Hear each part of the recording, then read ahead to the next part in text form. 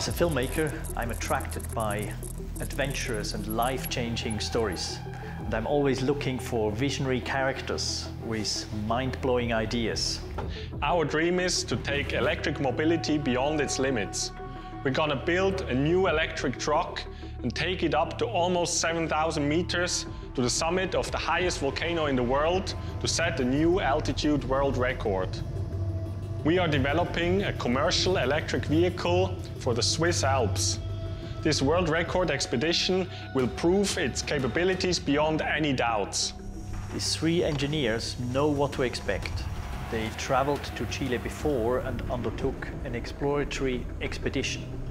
We reached the summit at 6,893 meters and the conditions were extremely cold. It was very hard to breathe and it could start snowing any time. But we managed to scout the way for our truck all the way to the summit. I wonder how it will be possible to reach 7,000 meters altitude with a truck. We are convinced our truck will reach the summit because it has very special features. It has a very low center of gravity because of the battery packs, and our electric powertrain is not reliable on oxygen from the air, so we will have full power all the way to the summit. We will also be completely energy independent because we charge our vehicle with solar power. The rigorous planning is impressive, but what strikes me most is the ingenuity and the craftsmanship of the Peak Evolution team. We have been a tight team for over 20 years and we have done everything together. We built vehicles since we are little children, but this truck is the biggest project we've ever done. I'm also impressed by the lifestyle of the Peak Evolution team.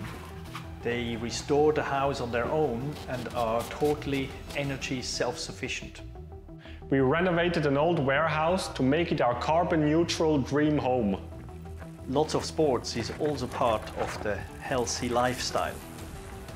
To make it up that mountain, we have to be extremely fit, and our mountaineering skills will help us reach that goal.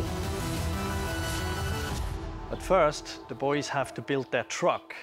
At the moment, it looks like ground zero. This is the most stripped our vehicle is ever gonna be.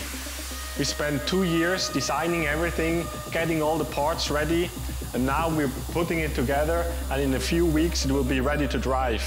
We already installed the drivetrain, the cabin and the box at the back will go up soon.